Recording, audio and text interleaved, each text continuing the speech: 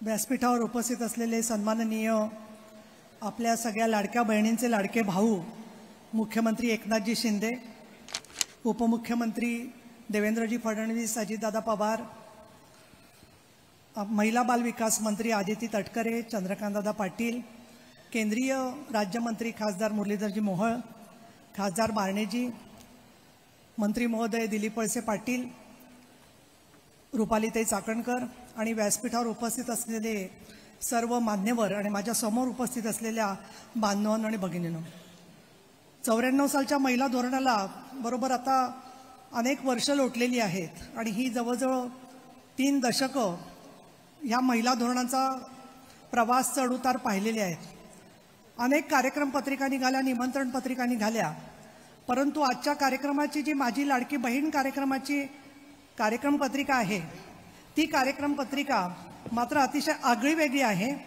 आणि ही कार्यक्रम पत्रिका अशीच असेल की ज्याच्यामध्ये माननीय मुख्यमंत्र्यांसह सर्व आपल्या मान्यवरांचं नाव त्यांच्या आई सगट लावलेलं आहे.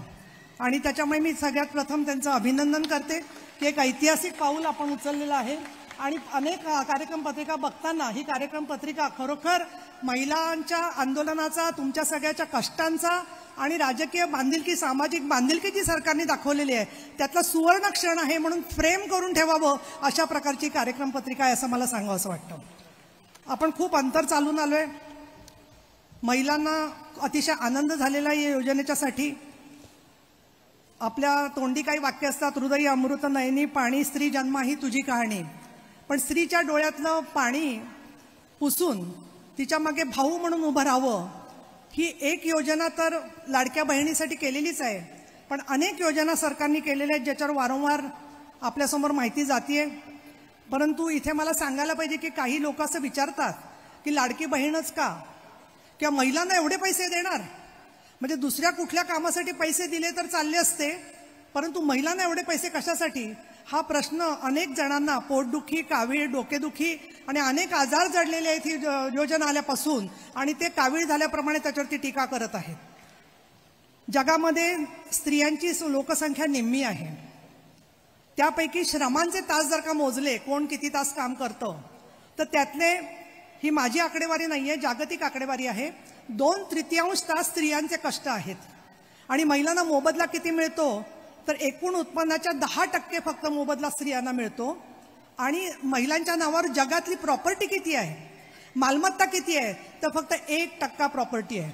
आणि त्यामुळे त्या प्रॉपर्टीमध्ये थोडीशी ब वाढ त्याच्यामध्ये मदत त्याच्यामध्ये वृद्धी जर का सरकारने केली तर आमच्या विरोधकांना एवढं पोटात दुखण्यासारखं काही नाही आहे तुम्ही एक पैसाही दिला नाही उलट महिलांना फसवणूक करताय. मला आजच कळलं की एका व्यक्तीने म्हणजे तो नगरसेवक म्हणवतो त्यांनी त्याच्या व्हॉट्सअप ग्रुपवर असं टाकलं की तुम्ही जर का याच्यात फॉर्म भरला तर तुमचे आहे ते पैसेही बँकेतून काढून घेतील. म्हणजे अशानं खरं तर समाजकंटक म्हणून त्यांच्यावरती कारवाई केली पाहिजे असं मला वाटतं. इथे माझं भाषण संपत असताना मी समाज सुधारकांचा उल्लेख करणं माझं कर्तव्य समजते. सन्माननीय सावित्रीबाई फुले महात्मा ज्योतिराव फुले डॉक्टर बाबासाहेब आंबेडकर महर्षी कर्वे लोकमान्य टिळक गोपाळ गणेश आगरकर कर्मवीर भाऊराव पाटील शाहीर अण्णाभाऊ साठे या सगळ्यांनी आपल्याला समाज प्रबोधनाचा वारसा दिला ते हे पुणे शहर आहे. पुणे शहरात प्रबोधनाची परंपरा आहे. आणि अशा प्रबोधनाची परंपरा असणाऱ्या शहरामध्ये आपण जिल्ह्याचा नाही तर राज्याचा शुभारंभ करत आहात. आणि त्यामुळे मी असं नक्की म्हणेन की राजर्षी शाहू फुले आंबेडकर यांची विचाराचा वारसा माननीय मुख्यमंत्री एकनाथ शिंदे आणि उपमुख्यमंत्री देवेंद्र फडणवीस आणि उपमुख्यमंत्री अजितराव पवार हे तिघजण पुढे नेत आहेत हे तुमच्या सगळ्यांच्या उपस्थितीवरून मला खात्री त्याची वाटते. सावित्रीबाई फुले नसत्या तर आज नीलम गोरे उपसभापती नसते आणि तुमच्यासमोर स्टेजवरही आम्ही कोणी महिला दिसलो नसतो. आणि म्हणून सावित्रीच्या लेकींना हे जे लाडक्या बहिणी म्हणून आपण जे मदत केलेली आहे पाठिंबा दिलेला आहे तर ते ऋण लक्षात ठेवून अजून महिलांपर्यंत पोहोचेपर्यंत no one should be left behind कुणाला मागे न ठेवता सगळ्यांना बरोबर घेऊन जाण्याचा आपण संकल्प करूया.